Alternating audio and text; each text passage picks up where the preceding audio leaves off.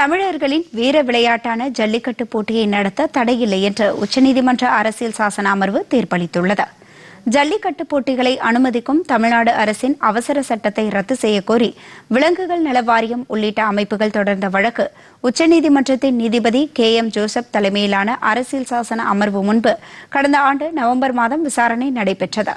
அனைத்து தரப்பு வாதங்களையும் பதிவு செய்து கொண்ட அரசியல் சாசன அமர்வு மனுக்கள் மீதான தீர்ப்பை தேதி குறிப்பிடாமல் கடந்த ஆண்டு டிசம்பர் பனிரெண்டாம் தேதி ஒத்திவைத்திருந்தது. இந்த சூழலில் நீதிபதி கே. எம். ஜோசப் தலைமையிலான ஐந்து நீதிபதிகளை கொண்ட அரசியல் சாசன அமர்வு முன்பு இன்று விசாரணைக்கு வந்தது. தமிழ்நாட்டில் ஜல்லிக்கட்டு போட்டிகளை நடத்த தடையில்லை என தீர்ப்பளித்த நீதிபதிகள் பீட்டா உள்ளிட்ட அமைப்புகளின் வழக்குகளை தள்ளுபடி செய்தனர். ஜல்லிக்கட்டு போட்டியை அனுமதிக்கும் தமிழ்நாடு அரசின் அவசர சட்டம் செல்லும் என்றும் ஜல்லிக்கட்டு தொடர்பான தமிழக அரசின் ஆவணங்கள் திருப்தி அளிப்பதாகவும் நீதிபதிகள் தங்கள் தீர்ப்பில் குறிப்பிட்டுள்ளனர்.